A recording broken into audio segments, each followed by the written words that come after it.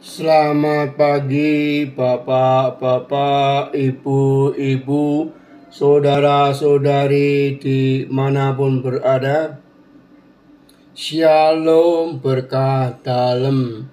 Berjumpa kembali dengan Sugeng Pramono dari Solo dalam renungan Yohanes 7 ayat 40 sampai 53. Dia ini Yesus Mesias.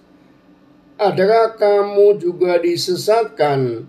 Adakah di antara kami para pemimpin agama dan orang Farisi yang percaya kepada Yesus? Mereka tidak mengenal hukum Taurat.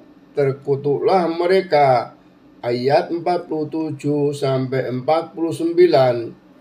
Perkataan itu dikemukakan oleh para pemimpin agama